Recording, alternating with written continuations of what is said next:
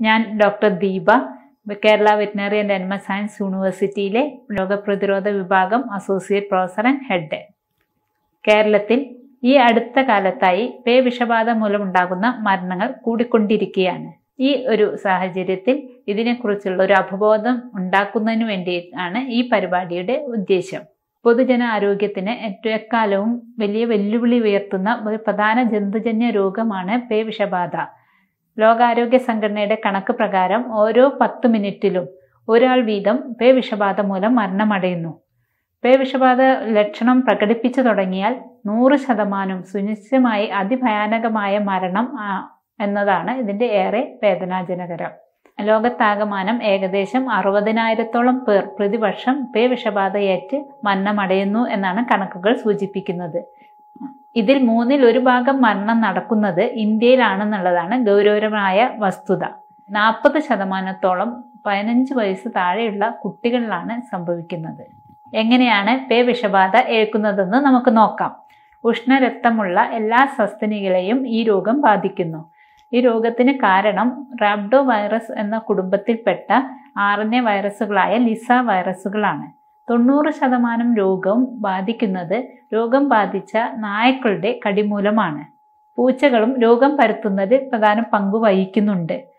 കാൽപാദങ്ങൾ നക്കി തുടയ്ക്കുന്ന സ്വഭാവമുള്ള ഒരു ജീവിയാണ് പൂച്ച. അവയുടെ ഉമിനീര് ഇവയുടെ കൈകളിൽ എപ്പോഴും ഉണ്ടായിരിക്കുകയും അതുവഴി രോഗസംക്രമണം നടക്കുകയും ചെയ്യാം. പൂച്ചകളുടെ മാന്തലും വളരെയധികം നമ്മൾ ശ്രദ്ധിക്കേണ്ടതാണ്. രോഗബാധയേറ്റ മറ്റ് മൃഗങ്ങളായ കീരി കുറുക്കൻ ചെന്നായ വളർത്തുമൃഗങ്ങളായ പശു ആട് മറ്റ് സസ്തനികൾ എന്നിവയുടെ മാന്തലോ കടിക്കലോ മൂലം രോഗം പകരാം. രോഗം ബാധിച്ച മൃഗങ്ങളുടെ ഉമിനീർ ഗ്രന്ഥികളും ഉമിനീരുമാണ് വൈറസ് സംഭരണ സൂക്ഷിപ്പ് കേന്ദ്രങ്ങൾ.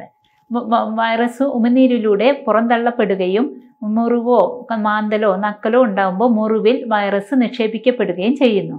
വൈറസ് അതിന്റെ നാഡി മുറിവിന് ചുറ്റുമുള്ള നാഡീ ഞരമ്പുകളിലൂടെ ശരീരത്തിലേക്ക് പ്രവേശിക്കുകയും നാഡീ വ്യൂഹത്തിലൂടെ കേന്ദ്ര നാഡീ വ്യൂഹത്തിലെത്തുകയും തലച്ചോറ് സുഷ്മന നാഡി എന്നിവയെ ബാധിക്കുകയും ചെയ്യുന്നു. വൈറസ് തലച്ചോറിലെത്തി പെറ്റുപെരുകി തലച്ചോറിനെ ബാധിക്കുമ്പോഴാണ് രോഗലക്ഷണങ്ങൾ കാണിക്കുന്നത്. പേവിഷബാധയുള്ള നായക്കളുടെ കടിയേറ്റാലും മുറിവിന്റെ സ്ഥാനം മുറിവിന്റെ ആഴം എന്നിവ അനുസരിച്ച് രോഗലക്ഷണങ്ങൾ പ്രകടമാകാൻ ഏതാനും ദിവസം മുതൽ ഏതാനും മാസങ്ങളോളം കാലതാമസം എടുത്തേക്കാം. ഇതിനെയാണ് സാധാരണയായിട്ട് ഇൻക്യുബേഷൻ പീരീഡ് എന്ന് പറയപ്പെടുന്നത്. വൈറസ് ശരീരത്തിൽ ഏകദേശം മണിക്കൂറിൽ മൂന്ന് മില്ലിമീറ്റർ എന്ന വേഗത്തിലാണ് സഞ്ചരിക്കുന്നത് എന്നാണ് കണക്കാക്കപ്പെടുന്നത്. ആയതിനാൽ കാലിലോ വാലിലോ കടിയേൽക്കുകയാണെങ്കിൽ രോഗലക്ഷണങ്ങൾ പ്രകടമാകാൻ കാലതാമസം ഉണ്ടായേക്കാം. എന്നാൽ അത് മുഖത്തോ കവിളിലോ നാസ അഗ്രങ്ങളിലോ കടിയേൽക്കുകയാണെങ്കിൽ വളരെ പെട്ടെന്ന് തന്നെ രോഗലക്ഷണങ്ങൾ പ്രകടമാകാറുണ്ട്. റേബീസ് വൈറസുകൾ ചൂടേറ്റാൽ പെട്ടെന്ന് നശിക്കും എന്നുള്ളതിനാൽ നമ്മൾ പാൽ മാംസം എന്നിവ തിളപ്പിച്ച് ശരിയായ രീതിയിൽ തിളപ്പിച്ച് ഉപയോഗിക്കുകയാണെങ്കിൽ ആശങ്കപ്പെടേണ്ട ആവശ്യമില്ല. എന്തൊക്കെയാണ് രോഗലക്ഷണങ്ങൾ? മനുഷ്യർ പ്രധാനമായും തലവേദന പനി ഉറക്കമില്ലായ്മ അപസ്മാരം ഇടയ്ക്കിടയ്ക്ക് ഉണ്ടാകുന്ന അപസ്മാരം പെരുമാറ്റത്തിലെ വ്യതിയാനങ്ങൾ എന്നിവയാണ് പ്രധാന ലക്ഷണങ്ങൾ. വെള്ളമോ വെളിച്ചമോ കാറ്റോ നേരിയ കാറ്റോ ഉണ്ടാകുമ്പോൾ വളരെയധികം അസ്വസ്ഥനായി കാണപ്പെടാം. വെള്ളമോ ഭക്ഷണമോ ഇറക്കാൻ പറ്റാത്ത അവസ്ഥ ശ്വാസതടസ്സം നാല് മുതൽ ആറ് ദിവസത്തിനുള്ളിൽ മരണം സംഭവിക്കും. മൃഗങ്ങളിൽ പൊതുവെ ആക്രമണ സ്വഭാവമുള്ള ക്രൂധരൂപത്തിലോ അല്ലെങ്കിൽ ശരീര തളർച്ച അനുഭവപ്പെടുന്ന മൂകരൂപത്തിലോ രോഗം പ്രത്യക്ഷപ്പെടാം. വിശപ്പില്ലായ്മ ലക്ഷ്യമില്ലാത്ത അലച്ചിൽ കുരയ്ക്കുമ്പോൾ ഉണ്ടാകുന്ന ശബ്ദ വ്യത്യാസം ശരീര തളർച്ച കാരണം പിൻകാലുകൾ വേച്ചു വേച്ചു നടത്താം വായിൽ നിന്ന് ഉമിനീര് ഒറ്റുവറ്റി ഒലിക്കുക പ്രകോപനമില്ലാതെ അക്രമാസക്തമാകുക എന്നിവയാണ് ക്രൂദ്ധ രൂപത്തിലെ പ്രധാന ലക്ഷണങ്ങൾ. മൂക രൂപത്തിലാണെങ്കിൽ ശരീര തളർച്ച ബാധിച്ച് വേച്ചു വേച്ച് നടക്കുകയും കീഴ്ത്താടി തൂങ്ങി നിൽക്കുകയും വെള്ളം ഭക്ഷണം നിറക്കാൻ കഴിയാത്ത അവസ്ഥ ഉണ്ടാകുകയുമാണ് പ്രധാനമായ ലക്ഷണങ്ങൾ. കന്നുകാലികളെ ക്രൂധരൂപത്തിൽ രോഗം കാണപ്പെടാറുണ്ട്. കൂടെ കൂടെയുള്ള കരച്ചിൽ നിലത്ത് മാന്തൽ അക്രമാസക്തമാവുക വായിൽ നിന്ന് നൊരയും പതയും വരിക പ്രത്യേക രീതിയിലുള്ള കരച്ചിൽ കൂടെ കൂടെ മൂത്രമൊഴിക്കുക എന്നിവയൊക്കെയാണ് പ്രധാനമായ ലക്ഷണങ്ങൾ. നൂറ് ശതമാനം മരണം വിതയ്ക്കുന്ന രോഗമാണെങ്കിലും ഫലപ്രദമായ രോഗപ്രതിരോധ കുത്തിവയ്പ്പുകളിലൂടെ രോഗം തടയാവുന്നതാണ്. എന്തെല്ലാമാണ് രോഗപ്രതിരോധ മാർഗങ്ങൾ? മൃഗങ്ങളായാലും മനുഷ്യരായാലും കടി ഏറ്റുകഴിഞ്ഞാൽ അവയുടെ പ്രാഥമിക ശുശ്രൂഷയാണ് ഏറ്റവും പ്രധാനം അർഹിക്കുന്നത് കടിയേറ്റ ഭാഗം ഒഴുകുന്ന പൈപ്പ് വെള്ളത്തിൽ സോപ്പ് ഉപയോഗിച്ച് ഏകദേശം പതിനഞ്ച് മിനിറ്റിൽ കഴുകി പതിനഞ്ച് മിനിറ്റോളം കഴുകി വൃത്തിയാക്കേണ്ടതാണ്. അതിനുശേഷം എഴുപത് ശതമാനം വീര്യമുള്ള ആൽക്കഹോളോ അയഡിനോ ഉപയോഗിച്ച് അണുനശീകരണം നടത്തേണ്ടതാണ്. ലോകാരോഗ്യ സംഘടനയുടെ മാർഗനിർദ്ദേശപ്രകാരം മുറിവിന്റെ തീവ്രത സ്ഥാനം എന്നിവ എന്നീ മാനദണ്ഡങ്ങൾ ആശ്രയിച്ചിട്ടാണ് രോഗ ചികിത്സാ രീതി നിർണയിക്കുന്നത്. ഇതിനായി ആന്റി റേബീസ് വാക്സിനും ഇമ്മ്യൂണോഗ്ലോബിനുമാണ് പ്രധാനമായി ചികിത്സയ്ക്ക് ഉപയോഗിക്കുന്നത്. മൂന്ന് തരം കാറ്റഗറിയായി തരം തിരിക്കുന്നുണ്ട്. അതിൽ രക്തം പൊടിയാത്ത മുറിവുകളോ നക്കുകയോ ചെയ്യുന്നതാണെങ്കിൽ കാറ്റഗറി ടു ഉൾപ്പെടുത്തുകയും അവരെ രോഗപ്രതിരോധ കുത്തിവയ്പ്പുകൾ നൽകേണ്ടതുമാണ്. ചികിത്സ രോഗപ്രതിരോധ കുത്തിവയ്പ്പുകൾ നാല് ദിവസങ്ങളിലാണ് നാല് കുത്തിവയ്പ്പുകൾ പൂജ്യം മൂന്ന് ഏഴ് ഇരുപത്തെട്ട് എന്നീ ദിവസങ്ങളിൽ രണ്ട് ഡോസ് വീതമാണ് നൽകുന്നത്.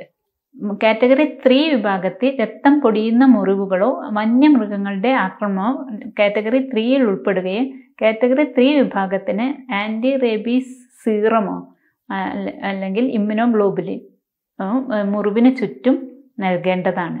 ആന്റി റേബീസ് സീറം അത് മൂന്ന് തരത്തിലുണ്ട്. ഒന്ന് കുതിരകളിൽ ഉൽപ്പാദിപ്പിക്കുന്ന ഇക്വൻ ആന്റി റേബീസ് സീറം മനുഷ്യനിൽ ഉൽപ്പാദിപ്പിക്കുന്ന ഹ്യൂമൺ ആന്റി റേബീസ് സീറം അതുപോലെ തന്നെ അത് കൂടുതൽ ശുദ്ധീകരിച്ച ഇമ്മ്യൂണോഗ്ലോബുലിൻ മോണോക്ലോണൽ ആന്റിബോഡി എന്ന വിഭാഗവും ഉണ്ട്. അല്ലെ മോണോക്ലോണൽ ആന്റിബോഡിയാണ് സീറത്തിനേക്കാൾ കൂടുതൽ ഫലപ്രദം. ഈ സീറം കുത്തിവെക്കുന്ന സീറം നൽകുന്ന അന്ന് തന്നെ രോഗപ്രതിരോധ കുത്തിവെപ്പുകളും നാല് കുത്തിവെപ്പുകൾ പൂജ്യം മൂന്ന് ഏഴ് ഇരുപത്തെട്ട് എന്നീ ദിവസങ്ങളിൽ രണ്ട് ഡോസ് കുത്തിവെപ്പുകളും നൽകേണ്ടതാണ്. വളർത്തുമൃഗങ്ങൾ മറ്റ് നായയോ മൃഗങ്ങളോ കടിച്ചു കഴിഞ്ഞാൽ ചികിത്സാ രോഗപ്രതിരോധ കുത്തിവയ്പ്പുകൾ എടുക്കേണ്ടതുണ്ട്. അവയ്ക്ക് അഞ്ച് വാക്സിനാണ് പൂജ്യം മൂന്ന് ഏഴ് പതിനാല് ഇരുപത്തെട്ട് എന്നീ ദിവസങ്ങളിൽ ഇൻട്രാമസ്കുലറായി എസ് എൻ ഷെഡ്യൂൾ പ്രകാരം നമ്മൾ നൽകേ നൽകുന്നത്. നേരത്തെ പറഞ്ഞ പോലെ തൊണ്ണൂറ് ശതമാനം രോഗം ഉണ്ടാകുന്നത് വള നായ്ക്കളുടെ കടിമൂലമാണ്. ആയതിന് നമ്മൾ വളർത്തു നായകൾക്കും പൂച്ചകൾക്കും രോഗപ്രതിരോധ കുത്തിവയ്പ്പുകൾ യഥാസമയം നൽകുകയും അവയുടെ കൃത്യമായി രജിസ്റ്റർ ചെയ്തു വെക്കേണ്ടതുമാണ്. വളർത്തു നായകൾക്കും പൂച്ചകൾക്കും ആദ്യത്തെ ഒരു കുത്തിവയ്പ്പ് പത്ത് മുതൽ പത്ത് മുതൽ പന്ത്രണ്ട് ആഴ്ച ആദ്യത്തെ കുത്തിവയ്പ്പ് നൽകേണ്ടതും അതിനുശേഷം നാലാഴ്ച നാലാഴ്ചയ്ക്ക് ശേഷവും തുടർന്ന് എല്ലാ വർഷവും ബൂസ്റ്റർ ഡോസും നൽകേണ്ടതാണ്. മനുഷ്യരിൽ നായകളുമായി ഇടപഴകുന്നവർക്കുമായും ഹൈ റിസ്ക് ഗ്രൂപ്പായ വെറ്റിനറി ഡോക്ടേഴ്സ് പോസ്റ്റ്മോർട്ടം നടത്തുന്ന ആൾക്കാർ എന്നിവർക്കായി പ്രീ എക്സ്പോഷർ വാക്സിനേഷൻ അതായത് പ്രതിരോധ കുത്തിവെപ്പുകൾ മൂന്ന് വാക്സിൻ പൂജ്യം ഏഴ് ഇരുപത്തെട്ട് എന്നീ ദിവസങ്ങളിൽ എടുക്കാവുന്നതാണ്. ഈ വാക്സിൻ എടുക്കുക എടുക്കുകയാണെങ്കിൽ പിന്നെ നമുക്ക് കടി ഏൽക്കുകയാണെങ്കിൽ ഇമ്മ്യൂണോഗ്ലോബിനോ സീറമോ നൽകേണ്ട ആവശ്യമില്ല. പ്രകോപനമില്ലാതെ വളർത്തുനായകൾ കടിക്കുകയാണെങ്കിൽ അവയെ മാറ്റി സുരക്ഷിതമായി മാറ്റി നിർത്തി ഒരു പത്ത് ദിവസത്തേക്ക് നിരീക്ഷണം നടത്തുകയും അവ മരണപ്പെടുകയാണെങ്കിൽ ശാസ്ത്രീയമായ രോഗനിർണയം നടത്തേണ്ടതുമാണ്. ഇതിനായി മൃഗസംരക്ഷണ വകുപ്പിലെ മേഖലാ ശാസ് മേഖലാ ലബോറട്ടറികളോ വെറ്റിനറി കോളേജ് പൂക്കോടോ മണ്ണുത്തിയിലുള്ള കോളേജുകളിൽ കൊണ്ടുപോയി രോഗനിർണയം നടത്താവുന്നതാണ്. ഓമന മൃഗങ്ങളെ പേടിപ്പിക്കുകയോ ദേഷ്യപ്പെടുത്തുകയോ ചെയ്താൽ കടിക്കാനുള്ള സാധ്യത കൂടുതലാണ്. അതിന് അവ ഉറങ്ങുക ഭക്ഷണം കഴിക്കുക അല്ലെങ്കിൽ കുഞ്ഞുങ്ങളെ പരിപാലിക്കുന്ന സമയത്ത് അവയിൽ നിന്ന് നിശ്ചിതമായ അകലം പാലിക്കുകയും അവയെ ശല്യപ്പെടുത്താതിരിക്കുകയും ചെയ്യുക. വളർത്തു നായക്കളെ മറ്റ് തെരുവ് നായക്കളോ വന്യമൃഗങ്ങളുടെ ആക്രമണത്തിൽ നിന്ന് സംരക്ഷിക്കാൻ രാത്രികാലങ്ങളിലെങ്കിലും അവയെ കൂടുതലാക്കുന്നതാണ് ഉത്തമം. പേ വിഷബാധ നിർമ്മാർജനം എങ്ങനെയൊക്കെ നടത്താം? ഇത് ഏറ്റവും പ്രധാനം അർഹിക്കുന്നത് പേ വിഷബാധക്കെതിരെയുള്ള കുത്തിവെപ്പ് തന്നെയാണ്. വളർത്തു നായ്ക്കളും തെരുവ് നായ്ക്കളും ഉൾപ്പെടെ എഴുപത് ശതമാനം നായക്കളെ ഒരു പ്രദേശത്ത് കുത്തിവെപ്പ് നടത്തുകയാണെങ്കിൽ പേ വിഷബാധയെ വിജയകരമായി പ്രതിരോധിക്കാൻ കഴിയുമെന്നാണ് പഠനങ്ങൾ തെളിയിക്കുന്നത്. ചില വിദേശ ഇനം നായകളോടുള്ള അമിത സ്നേഹം മൂലം നാടൻ നായക്കളിലെ അധികപ്പറ്റാവുകയും അവയെ പരിചരിക്കാതെ ആവുകയും ചെയ്യുന്നുണ്ട്. അനാഥരാക്കപ്പെട്ട നായക്കൾക്ക് സുലഭമായി ഭക്ഷണം ലഭിക്കുകയും അവ പെറ്റുപെരുകയും അങ്ങനെ തെരുവ് നായക്കളുടെ എണ്ണം ക്രമാതീതമായി വർദ്ധിക്കുന്നതും നമുക്ക് കാണാൻ സാധിക്കും. പേവിഷബാധ മരണങ്ങൾ കൂടുന്ന ഈ കാലഘട്ടത്തിൽ വളരെയധികം പ്രാധാന്യം അർഹിക്കുന്ന ഒന്നാണ് തെരുവ് നായ നിയന്ത്രണം. നായ നിയന്ത്രണത്തിനായി ഫലപ്രദമായ തെരുവുനായ പ്രജനന നിയന്ത്രണം എനിമൽ ബർത്ത് കൺട്രോൾ പ്രോഗ്രാം എന്ന പദ്ധതി നടപ്പിലാക്കാവുന്നതാണ്.